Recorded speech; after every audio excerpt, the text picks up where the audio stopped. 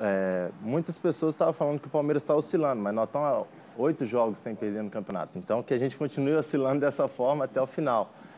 E o jogo contra o Flamengo, nós tivemos uma dificuldade muito grande, mas o Flamengo jogou no sábado e nós fomos jogar no domingo contra o Grêmio, uma partida dificílima. O Flamengo jogou com um jogador a mais, então ele estava mais cansado na quarta-feira.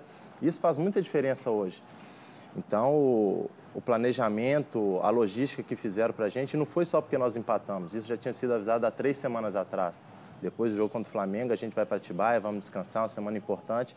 Então, isso foi preparado, nós jogadores já sabíamos disso e resolvemos abdicar esse momento da família para descansar e se preparar ainda mais para esse jogo.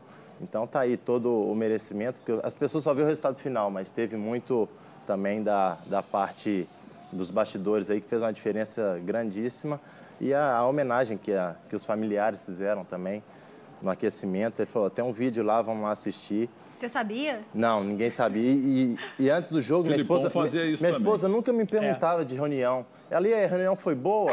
Eu falei, foi boa. Né? Mas não, não desconfiei nada, nem imaginei. E aí, chegando lá, teve a homenagem. E para encerrar, minha filha cantando. Então, aquele vestiário, todo mundo chorando, emocionado. Ficar quatro, cinco dias longe da família e ir para um jogo desse é nada mais importante que a vitória. Para o domingo você poder comemorar de uma forma tranquila e, e poder descansar bastante.